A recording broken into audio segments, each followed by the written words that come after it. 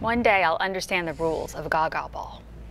Really hot out there, and the real summer heat is about to roll in this weekend, whether you're inside or out at camp. So a lot of folks are getting prepared. WTVA's Jake White gives us some tips on how we can stay cool this weekend. Jake.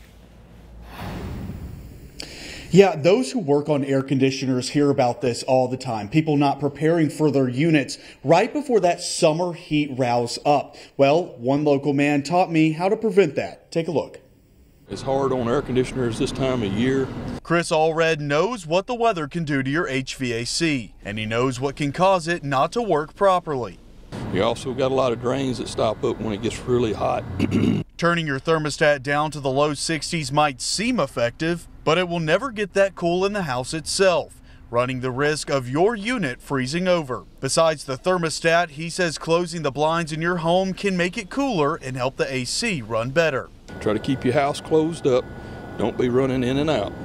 Next thing you need to try to do is, is check your filter and then see if make sure it's good and clean. If it's not, just go ahead and replace it. He also tells me that during the summertime, most people forget this more than important tip.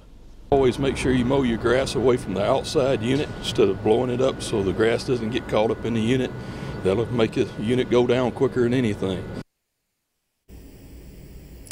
Yeah, and also keep in mind, and I know I'm guilty of this too, turning down this thermostat if it's that hot outside, maybe into the mid or low 60s, like on your thermostat, doesn't really do that much. And you do run the risk, like I said before, of over freezing that unit. And that's something you definitely don't want to do in this upcoming weekend.